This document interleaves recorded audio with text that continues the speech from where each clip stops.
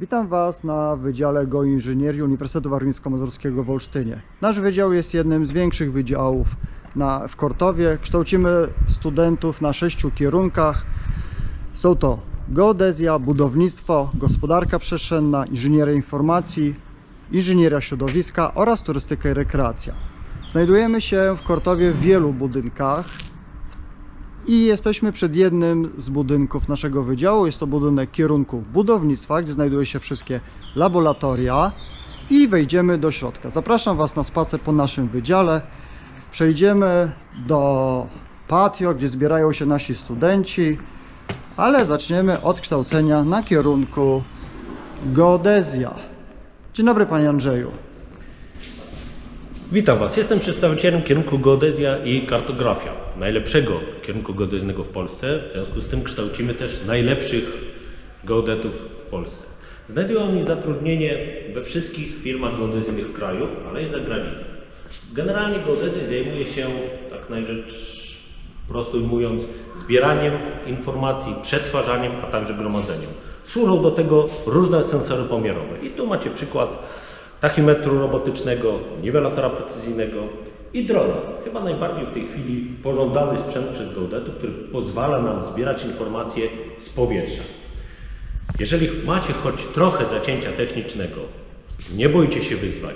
Macie smykałkę do nowych technologii, zachęcam do studiowania na naszym wydziale. Nie pożałujecie. Jesteśmy teraz przed laboratorium fizyki budowli, gdzie nasi studenci prowadzą badania, gdzie nasi studenci odbywają zajęcia. No i mamy teraz jednego z naszych studentów. Dzień dobry, co pan dobrego robi? Dzień dobry, jestem w trakcie do swojej pracy magisterskiej, y, która będzie się opierała na wpływie wilgotności na właściwości transportowe materiałów termo- termoizolacyjnych. Mną jest wełna mineralna, już badałem wełnę drzewną, zostaną jeszcze włókna celulozowe i, i w sumie będę już miał gotowe badania. Czyli rozumiem, że będzie koniec już edukacji. Powoli, koniec. Zac- zacznie się, skończy się najpiękniejszy okres naszego życia, studiowanie na naszym wydziale. Polecam serdecznie studiowanie na UEM-ie, tym bardziej na budownictwie, bo naprawdę mogę serdecznie polecić. Polecasz naszym młodym życiem, kandydatom? Tak, jak naj- tak, jak najbardziej. Słyszycie wyraźnie, dziękuję Wam bardzo i przejdziemy teraz do następnych pomieszczeń naszego wydziału. Wchodzimy teraz do laboratorium konstrukcji budowlanych, wyposażone w najnowocześniejszy sprzęt pomiarowy. O i mamy naszą młodą doktorantkę. Powie Pani, co, my, co nasi studenci tutaj robią? Dzień dobry, witam Państwa bardzo serdecznie. Tak na początek może się przedstawię, nazywam się Maria Tunkiewicz. Znajdujemy się obecnie na hali. Proszę Państwa, prowadzimy tutaj badania różnego typu, od badań podstawowych do badania bardziej złożone. Wśród urządzeń, o których warto wspomnieć, mamy, wspomnieć, mamy na, na przykład komorę do badania izolacyjności przegród budowlanych, komorę do badania szczelności, maszynę do pomiaru odkształceń, mamy też dużą maszynę wytrzymałościową. Czym mamy tutaj dużo nowoczesnego sprzętu. tak, głównie. E, Do badań często angażujemy studentów. Po co to robimy? Po to, aby nasi absolwenci mieli wystarczającą wiedzę praktyczną, aby swobodnie pracować jako przyszli inżynierowie. Czy poleca Pani młodym kandydatom nasz kierunek kształcenia? Bardzo polecam. Dziękuję bardzo. Kochani, przemieszczamy się dalej. Dziękuję. Idziemy teraz, pokażemy Wam, to były część laboratoryjna, a teraz pokażę Wam, jak wygląda kształcenie na sali wykładowej. A po auli wykładowej oprowadzę Was ja. Nazywam się Natalia, jestem studentką Wydziału Geoinżynierii. E, To jest jedna z naszych aul. Mamy tutaj zajęcia, wykłady, bardzo wiele ciekawych rzeczy możemy się nauczyć. Mam za chwilę kolokwium, ale chcę Wam powiedzieć, że jest tutaj super atmosfera, bardzo dobrze się studiuje. Nie tylko nauczymy się wiele ciekawych rzeczy, ale też mamy formy spędzania wolnego czasu, jak na przykład Mamy za rogiem jezioro, mamy kluby studenckie, parki, lasy, gdzie, gdzie można pogrillować, e, spędzić czas ze znajomymi.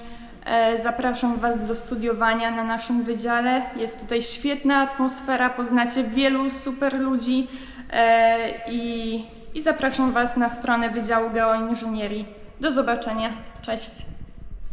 Cześć, jestem Emil. Znajdujemy się na Wydziale Geoinżynierii. Wchodzimy właśnie do Laboratorium Motoryczności Człowieka, gdzie odbywają się e, zarówno badania naukowe, jak i zajęcia dydaktyczne.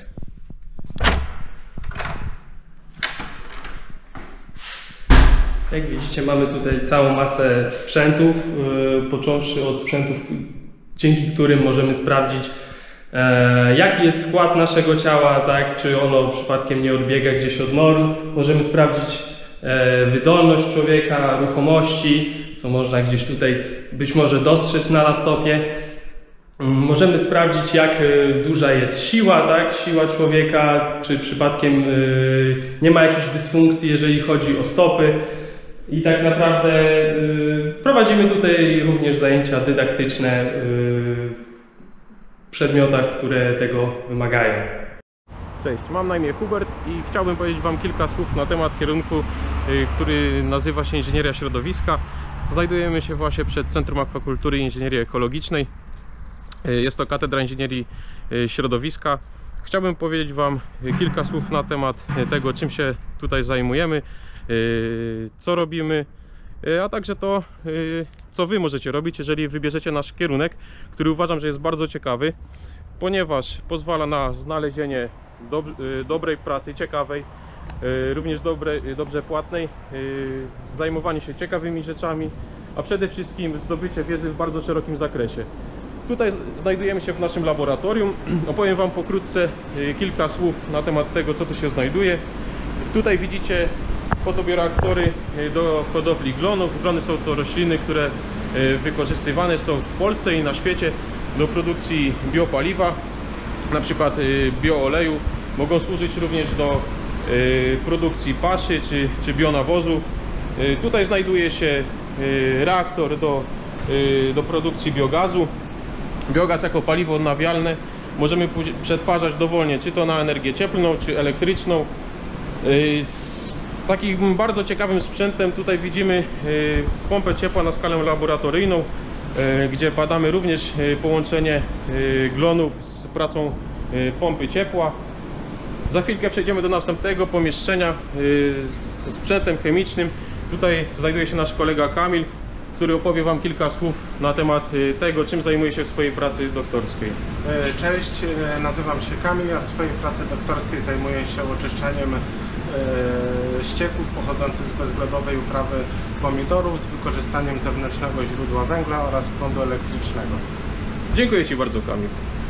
Znajdujemy się teraz na dachu budynku Katedry Inżynierii Środowiska. Na początku wspomniałem Wam, że inżynieria środowiska to kierunek, który pozwala na zdobycie wiedzy w bardzo szerokim zakresie. Oprowadziłem Was po laboratorium, gdzie opowiedziałem o procesach technologicznych, yy, jakich możecie się nauczyć na, na, na, na naszym kierunku. Tutaj widzicie baseny do yy, hodowli glonów, yy, kolektor słoneczny, na którym też na, z pewnością będziecie pracować, uczyć się zasady działania, co możemy otrzymać dzięki jego pracy. Drugim takim ważnym czynnikiem jest możliwość podjęcia pracy zarówno w biurze projektowym, yy, w urzędach państwowych na budowie. Także zachęcam Was z całego serca do studiowania kierunku inżynieria środowiska, a na pewno tego nie pożałujecie. Cześć! Witajcie. Znajdujemy się przed budynkiem Wydziału Geoinżynierii. Kształcimy tutaj na kierunku gospodarka przestrzenna i inżynieria informacji. Znajduje się tutaj również dziekanat, ale nie ma konieczności jego odwiedzania, ponieważ wszystko możemy załatwić online przez system USOS. Po lewej stronie sala wykładowa, a na wprost nasze centralne miejsce spotkań studenckich. Za chwilę przejdziemy do sal wykładowych, ćwiczeniowych i zobaczymy jedno z laboratoriów. Kochani, a teraz wizyta w laboratorium analiz przestrzennych. Tu dzieje się magia. Normalnie odbywają się tutaj zajęcia. Na przykład z procedury zarządzania nieruchomościami. Pełną w, tej, w tym laboratorium, w tej sali map. Widzimy jeden ze studentów pracuje na pliku, w którym wyznacza wartość nieruchomości. To przy wycenie nieruchomości ważna umiejętność. To dobry zawód. Możecie go u nas zdobyć. Tu widzimy, ktoś pracuje na oprogramowaniu firmy Esri. Najlepszym oprogramowaniu na rynku. Amerykańskim oprogramowaniu. Zobaczmy, jaki będzie wynik tej analizy. A tu ktoś pracuje w AutoCADzie na innym komputerze ktoś pracuje na statystyce. A wszystko to po to, żeby uzbroić Was w narzędzia. W narzędzia, dzięki którym będziecie mogli zdobyć dobrą pracę. Po kierunku gospodarka przestrzenna inżynieria informacji nie będziecie mieli problemu z jej znalezieniem. Czy to w biurze planowania przestrzennego, biurze urbanistycznym, czy przy zarządzaniu nieruchomościami, czy też przy wspomnianej wcześniej przeze mnie wycenie nieruchomości. Zapraszamy Was. Sprawdźcie nas. Do zobaczenia.